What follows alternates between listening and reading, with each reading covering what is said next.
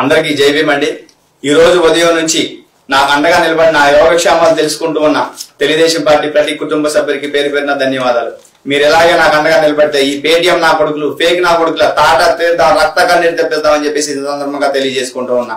మరి ఈ రోజు విచారణ పేరుతో నాకు మంగళగిరి రావాలని చెప్పేసి నోటీస్ సిఐడి నోటీసులు ఇచ్చారండి. ఆ సిఐడి వెళ్తేనేమో అక్కడ నుంచి కాదు గుంటూరు వెళ్ళమన్నారు. మళ్ళీ పది నిమిషాల తర్వాత ఏమో మళ్ళీ గుంటూరు కాదు విజయవాడ రమ్మని చెప్పేసి విజయవాడ తీసుకెళ్ళారు. అదేమో బూత్ బంగ్లా లేకుండా అక్కడ కెమెరాలు లేవు. అయితే అక్కడికి వెళ్ళిన తర్వాత ఆ విచారణ అధికారి నాకు ఏదైతే నోటీసులు ఇచ్చారో ఆ నోటీసులో ఉన్న తప్ప లేని క్వశ్చన్లన్నీ అడిగారండి. ఈ ఈ కేసు సంబంధించి ఒక్క క్వశ్చన్ కూడా అడగలేదు. మరి అలాగే చూసుకుంటే లండన్లో ఉండే మా మహిళా నాయకురాలని దుర్భాషలాడుతూ నా గురించి నా ఫ్యామిలీ గురించి దుర్భాషలాడుతూ విచార విచారణ అధికారి విచారణ చేయడం జరిగింది.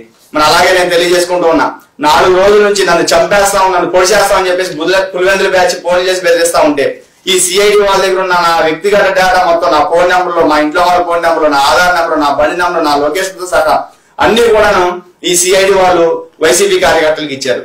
వీళ్ళకి అంత అవసరం ఏముందండి వైసీపీ కార్యకర్తలకు ఇవ్వాల్సిన అంత అవసరం. ఇంకా నా- ఇంకా మాలాంటి ప్రజలకి నాలాంటి దళితులకి ఈ ఆంధ్రప్రదేశ్లో భద్రత ఎక్కడ ఉంది అని అడుగుతా ఉన్నా నేను. ఈ ఈ వరుస ఘటనలు చూసుకుంటే కందేర్లో చూసుకుంటేనేమో వైసీపీ నాయకులు వెళ్ళేసి నలుగురు దళిత యువకులను పట్టుకొని కాలువలో పడేసి తొక్కి కొట్టి కొట్టి హాస్పిటల్ హాస్పిటల్లో పడేలా చేశారు. మరి వేమూరు నియోజకవర్గంలో చూసుకుంటేనేమో ఒక వైఎస్ఆర్సీపీ ఉప సర్పంచ్ ఒక దళితుడిని నరిగితే పుర్రె బయటకు వచ్చింది. మరి అలాగే నంద్యాలలో ఈ పోలీసులు వేధింపులు తాళలేక ఒక యువకుడేమో ఆత్మహత్య చేసుకున్నాడు.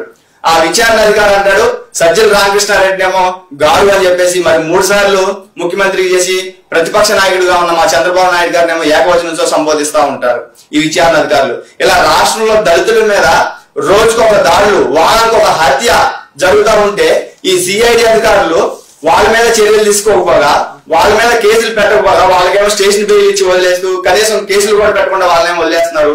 మాలాంటి దళితులనేమో ప్రభుత్వాన్ని ప్రశ్నిస్తున్న మాలాంటి దళితులనేమో ఇలా నోటీసుల పేరుతో వేధిస్తూ ఉన్నారని చెప్పేసి మేము తెలియజేసుకుంటా ఉన్నాం.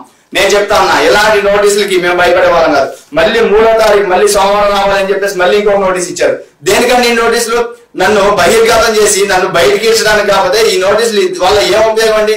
ఈ ఈ కేసులో మీరు ఏమైనా పురోగతి సాధించారా? ఈ కేసుకు సంబంధించిన ఏమైనా క్వశ్చన్లు అడిగారా? అడగలేదు. బూతులు తిట్టడానికి మాత్రమే ఈ రోజు మీరు మీ విచారణ సమయాన్ని అంతా ఉపయోగించారు తప్పితే మీరు ఎక్కడ ఈ కేసుకు సంబంధించిన ఒక క్వశ్చన్ కూడా అడగలేదు మీరు. మరి అలాగే మేము చెప్తా ఉన్నాం. మా వ్యక్తిగత డేటాని మీరు వైసీపీ వాళ్ళకి ఎందుకు ఇచ్చారు? ఈ విషయాన్ని నేను మా జాతీయ ప్రధాన కార్యదర్శి నారా లోకేష్ గారి దృష్టికి కూడా తీసుకెళ్ళనండి. ఆయన నాకు అన్ని విధాలుగా అండగా ఉంటుందని చెప్పేసి కూడా నాకు హామీ ఇచ్చారు. ఇలాంటి టెయింటెడ్ ఆఫీసులు ఎవరైతే ఉన్నారో అధికారులకు కాకుండా ఎవరైతే బుల్లు చొక్కాలు వేసుకున్న వైఎస్ఆర్సీపీ కార్యకర్తలా వ్యవహరిస్తూ ఉన్న ఏ ఏ అధికారులు అయితే ఉన్నారో వాళ్ళందరి మీద భవిష్యత్తులో తప్పకుండా చర్యలు తీసుకుంటామని చెప్పేసి మా లోకేష్ గారు మాకు హామీ ఇచ్చే ఇచ్చి ఉన్నారు. మీరు ఈ విషయాన్ని గుర్తు పెట్టుకొని భవిష్యత్తులో మాలాంటి దళితుల్ని ఎవరున్నారులే దళితులే కదా ఎవరు రాదులే వాళ్ళని ఇబ్బంది పెట్టినా ఏం కాదులే అని చెప్పేసి ఏదైతే వైసీపీ కార్యకర్తలాగా ఈ డిపార్ట్మెంట్ వాళ్ళు కూడా వ్యవహరిస్తూ ఉన్నారో వీళ్ళందరూ కూడా మేము హెచ్చరిస్తా ఉన్నాం. మళ్ళొకసారి చెప్తా ఉన్నాం. ఇలాంటి నోటీసులకి ఇలాంటి కేసులకి ఇలాంటి బెదిరింపులకి మీరు భయపడతారేమో.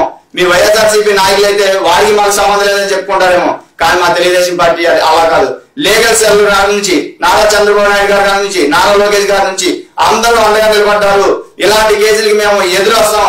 ఇంకా ఇంకా ఎదురొచ్చి ఇంకా ఎదురొట్టుతాం తప్పితే ఇంకా పని చేస్తాం తప్పితే కృషి చేస్తాం తప్పితే మీలాంటి ఉడతూపులకి మీలాంటి బెదిరింపులకి భయపడే రకం కాదు మా తెలుగుదేశం పార్టీ కార్యకర్తలు అని చెప్పేసి మరొకసారి తెలియజేసుకుంటూ ఉన్నాం.